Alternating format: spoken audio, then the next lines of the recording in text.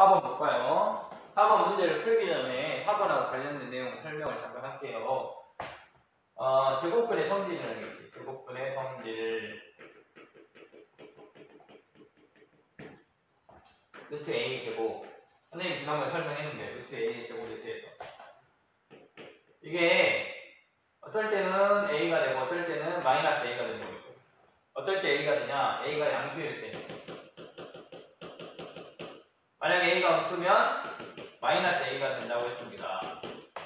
자, 이 성질을 이용해서 이 문제를 풀 수 있거든요. 자, 문제로 들어가 볼게요. A가 음수라는 얘기예요, 음수. 0보다 작다 했습니다. B가 양수. A가 음수고 B가 양수입니다. 이랬을 때 쓰자. 루트 A 마이너스 B의 제곱 플러스 루트 A의 제곱 마이너스 루트 B의 제곱 자 A가 음수고 B가 양수입니다. 그러면 이거는 뭘까? A에서 B를 빼라 음수에서 양수를 빼라 이렇게 되는 거지 예를 들어보면 마이너스 1에서 2를 빼라 이런 거야 그럼 이것은 마이너스 3이 되잖아요 음수에서 양수를 빼면 음수가 됩니다. 음수. 이 자체는 음수가 돼요. 예?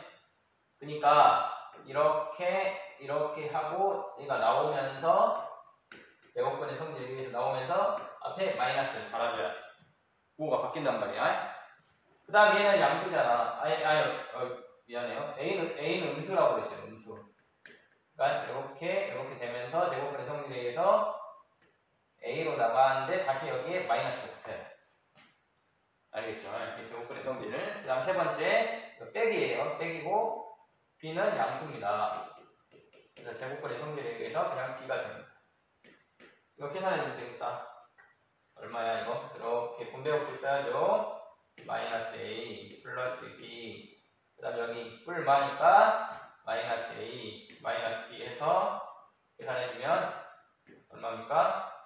마이너스 2a가 됩니다. 알겠죠? 이 제곱근의 성질을 이용한 어, 가, 좀 간단한 문제였어요. 그래서 조금 어려운 부분, 이 부분. 음수에서 양수를 빼면 어떻게 될까? 이 부분만 잘 이해하면 이런 문제는 어렵지 않게 할 수 있을 것 같아요.